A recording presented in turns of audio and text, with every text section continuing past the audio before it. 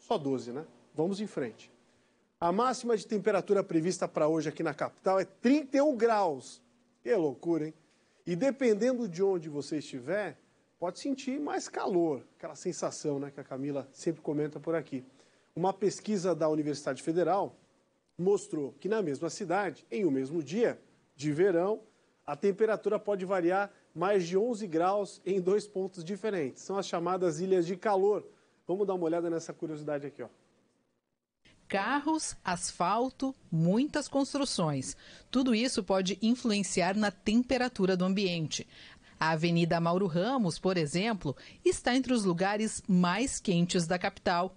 Foi o que mostrou uma pesquisa feita pela acadêmica Natasha e pelo professor de Física e Meteorologia da UFSC. Todos os meses de verão, a gente nota que as temperaturas começam a aumentar, né? A gente queria saber por que, que algumas regiões são mais quentes do que outras. Só que a gente não tem termômetros em todos os lugares. Então, para fazer isso, nós nos baseamos em imagens de satélite da NASA e esses satélites permitem, né, com uma certa resolução, você identificar os bairros e regiões mais quentes e mais frias. A pesquisa identificou ilhas de calor, avaliando diferentes locais no mesmo dia e horário, às vezes levando em consideração os dados de satélite, outras vezes comparando estes dados com a medição em tempo real do termômetro, no exato momento que o satélite passava pela cidade. Foi ali na, na área da Lagoa da Conceição, nas dunas, no verão, assim, então deu para comparar, né, o que, que foi medido ali e o que foi medido pelo satélite. Ele tem uma data e um horário específico, né, uhum. né, que são previsíveis. Tem um site onde descreve, né, o horário, o dia que ele vai passar. Então a gente ficava esperando aquele dia, aquele horário e ia medir naquele, naquela hora. E a pesquisa surpreendeu.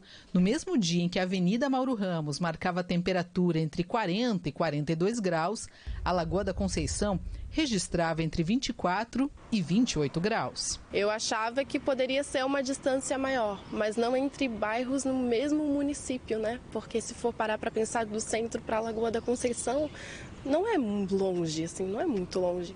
E ter uma diferença de 10 graus entre uma região e outra é bastante coisa, né? No mesmo dia. Além da radiação solar que aquece essas, esses materiais, a gente tem ar-condicionado que joga calor para o lado de fora, uhum. temos os carros né, que quando queimam combustível também jogam né, calor né, no, no, ambiente. Né?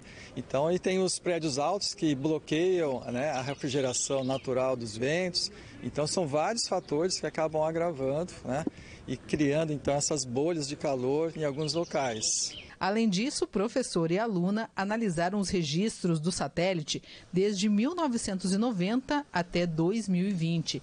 E o que se percebeu é que a cada ano tem ficado mais quente, o que mostra a necessidade de se pensar em mudanças na composição urbanística para que a população não venha a sofrer tanto com os dias de calor. Tem várias maneiras de você diminuir essas temperaturas urbanas, né? mudando o tipo de material de construção, mudando aí a, a, cobertura, né? Por exemplo, telhados verdes que podem né, diminuir a, a, aí o impacto da radiação, né?